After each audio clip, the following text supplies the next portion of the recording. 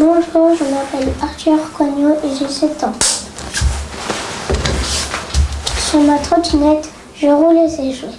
Un pied dessus, un pied par terre. Je suis venue à la vitesse d'un éclair.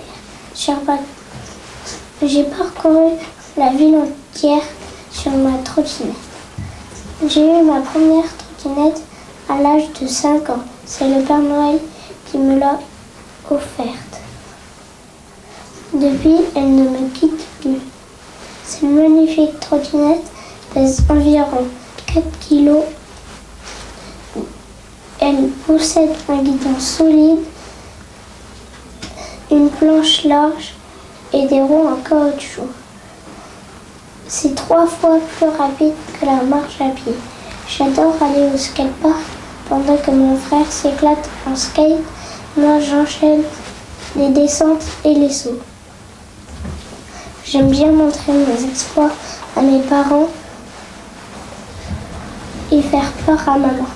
Avec ma trottinette, j'ai des morts.